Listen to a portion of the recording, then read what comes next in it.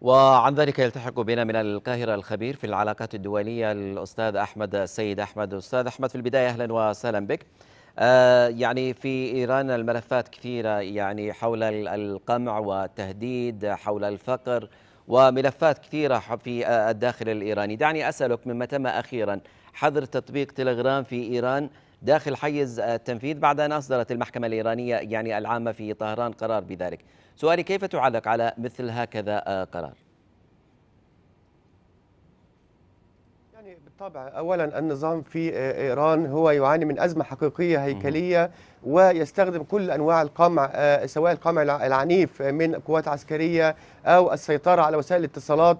لمنع تصاعد الانتفاضة الجماهيرية والثورة ضد ممارسات هذا النظام خاصة في إقليم الأحواز. والحقيقة أن الانتفاضة الإيرانية ليست فقط مقتصرة على الأحواز ولكنها أيضا تشمل كل مناطق إيران. ورأينا في نهاية العام الماضي وللأسف قام النظام باستخدام كل أدواته القمعية من قوات الحرس الثوري ومن قوات البسيج لقمع واستخدام أساليب السحل في الشوارع واعتقال الآلاف وقتل العشرات وفي محاولة للسيطرة وفي ذات الوقت تحدي المجتمع الدولي واستغلال الموقف المائع من المجتمع الدولي فيما يتعلق بحقوق الإنسان في إيران لاستمرار ممارساته ولذلك تعليق آآ آآ تليجرام هو يأتي في سياق السيطرة التامة محاولة منع ظهور ما يحدث على الأرض إلى الخارج ومحاولة منع الاتصالات حتى بين الأبناء وأن تعبر هذه الانتفاضة عن مسارها الطبيعي باعتبار أنها ضد لها مطالب مشروعة ضد ممارسات النظام وضد تغيير الأهوية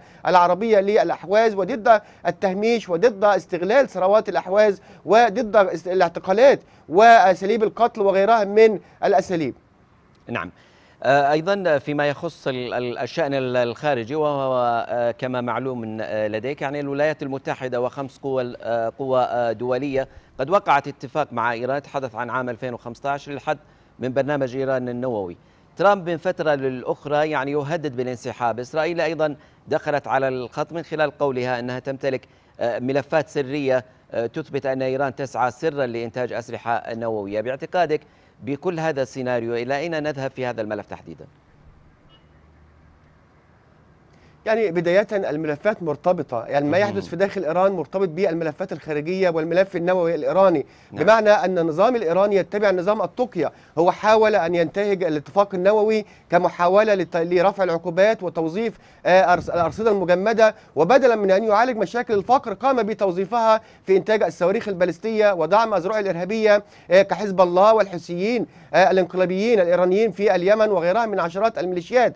ولذلك هذا النظام ادعى ويزعم أنه لا يسعى إلى استخدام السلاح النووي وأن هناك فتوى مما يسمى المرشد الأعلى وغيرها من الأمور لكن في اعتقادي أن هناك أدلة واضحة على أن هذا النظام يمتلك البنية الكاملة لإنتاج السلاح النووي وهو نقلها إلى مناطق خاصة تحت الجبال ومناطق عسكرية محصنة. ولذلك كانت أحد عيوب الاتفاق التي رأت فيها الإدارة الأمريكية بند الغروب بمعنى ما بعد 25 وإمكانية استئناف إيران لتقسيم اليورانيوم ثم الثغرة الثانية وهو السماح لمفتشي الوكالة الدولية للطاقة الذرية للوصول إلى المواقع العسكرية وهو مرفوضه النظام بشدة. هذا يعني النظام حاول استغلال هذا الاتفاق لامتلاك السلاح النووي من ناحية وفي ذات الوقت توظيف رفع العقوبات. وأعتقد أن كل الدلائل تشير الآن إلى اتجاه الإدارة الأمريكية إلى الانسحاب من هذا الاتفاق. ليس فقط تعديله لأن حتى صيغة التعديل التي طرحها الأوروبيين والحديث عن اتفاق مكمل يشمل بند الغروب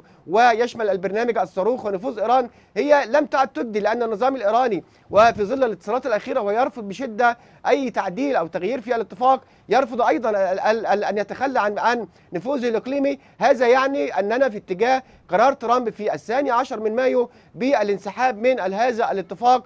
وبالتالي هنا الكرة لم تعد الآن في ملعب الأوروبيين لأن هم الآن فشلوا في الوصول إلى صيغة وسط وتعديل هذا الاتفاق ومعالجة ثغراته. وأعتقد أن الرؤية الأوروبية الآن الفرنسية تحديدا والألمانية باتت أقرب إلى الرؤية الأمريكية. وإعلان رئيس الوزراء الإسرائيلي عن أدلة حقيقية على وجود رؤوس نووية كلها بتعكس وتؤكد أننا مرحلة نسير في اتجاه مرحلة إلغاء هذا الاتفاق النووي من جانب الإدارة الأمريكية.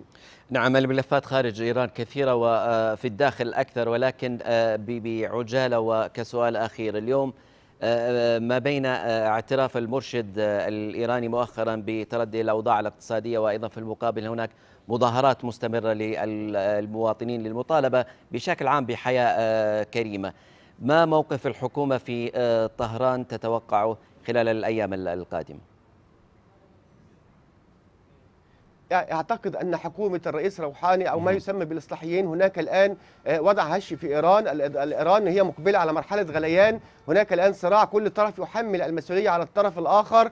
الحرس الثوري والمرشد الأعلى والبسيج يعني يحاولون إلقاء اللوم على الحكومة. لكن في النهاية نحن أمام أوضاع متردية. هي نتيجة لقيام النظام العسكري بصرف مليارات الدولارات حقيقة على الخارج وعلى الازرع الإرهابية. وبالتالي كان هذا على حساب الشعب الإيراني 50% من الشعب الإيراني تحت خط الفقر هناك تهميش هناك عشش الصفيح في المناطق الإيرانية وبالتالي كل هذا يمثل نوع من ال ال ال النار تحت الرماد ومرحلة من الانفجار. وأعتقد أن الحرس الثوري والقوات العسكرية يحاولون استغلال هذا الأمر لتشديد القبضة الأمنية في إيران لكن في كلا الأحوال كل المؤشرات تشير إلى أن إيران مقبلة على مرحلة سوف يحدث انفجار في الداخل الإيراني خاصة في ظل فشل النظام الإيراني وحكومة روحاني في معالجة هذه الأوضاع الاقتصادية والضغط على الحرس الثوري والمرشد لإعادة توجيه الأموال الإيرانية إلى الأوضاع الاقتصادية وليس الاستمرار في انفاقها على الخارج وعلى البرنامج الصاروخي والحرس الثوري نعم. الذي تبلغ ميزانيته تقريبا ربع الميزانية الإيرانية. نعم اذا من القاهرة الخبير في العلاقات الدولية السيد أحمد السيد شكرا جزيلا لك.